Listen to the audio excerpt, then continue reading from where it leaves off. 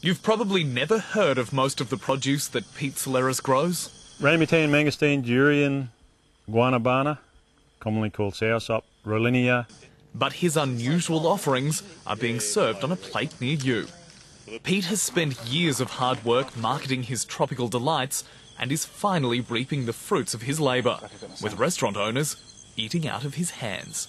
The tropical fruits are just, and, and vegetables, it's just second to none. There is no middleman. We get it direct from the grower to us. There's increasing interest once we show chefs what we've got and, and give them some ideas on how to use them. They, they seem to take it up pretty well. Elandra chef Mick Hannaford now sources all his herbs, bread, produce, and seafood from the local area.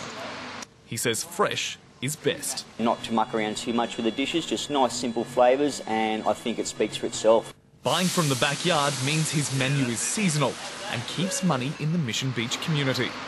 It's also helping to preserve local farming jobs.